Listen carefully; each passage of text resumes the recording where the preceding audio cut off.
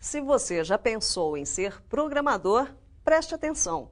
Se isso nunca passou pela cabeça, de qualquer modo, vale a pena conhecer uma das profissões que está no centro da era digital.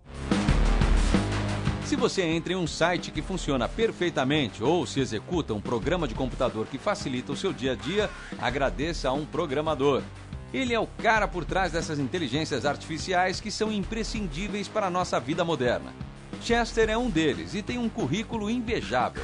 Já trabalhou em diversos portais do Brasil e exterior. Hoje integra um projeto canadense para uma empresa no Qatar, mas trabalha aqui mesmo, na sala de sua casa, em São Paulo.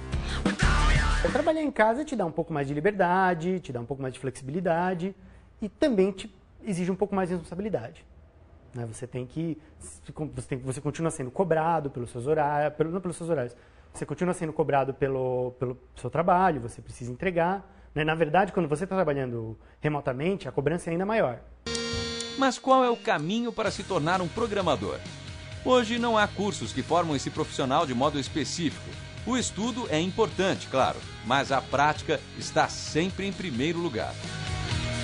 Antigamente, para você construir um software, você precisava ter acesso a equipamentos muito caros, você precisava, mesmo que você construísse o seu software, ele ia ser visto essencialmente pela sua mãe. Hoje em dia, o que acontece? Você pode, com o mesmo computador pessoal que você usa para entrar lá no Orkut, para brincar no, no, no, MSN, você pode colocar o seu software no ar usando as ferramentas de ponta, que quase todas são gratuitas, são código livre, é, e se o seu software virar, você vai ter audiências números maiores do que o número de pessoas que você conhece. Você vai ter que estudar bastante teoria, tá? É a, a, formação, a formação de computação, por exemplo, ela te ajuda muito a conhecer essa teoria. Mas você pode estudar ela como autodidata, né, desde que você complemente as duas coisas. Né? Eu, por exemplo, estudei os anos de filosofia e que me adicionaram bastante. E o mercado para programadores anda bem aquecido, hein? Isso porque a mão de obra brasileira é relativamente barata se comparada à da Europa e dos Estados Unidos. E nem por isso deixa de ser qualificada. Além disso, em momentos de crise, é o setor de TI que vai tornar o processo mais eficiente. E tem mais: ao trabalhar para empresas gringas, ganha-se em dólar ou em euro e gasta-se em reais. Nada mal, né?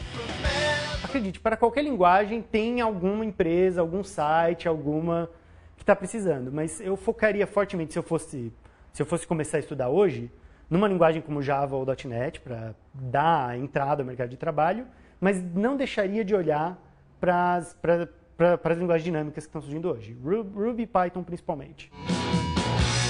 Se você ficou interessado pela profissão, não perca mais tempo. No olhardigital.com.br você encontra links para cursos e tutoriais de programação na internet.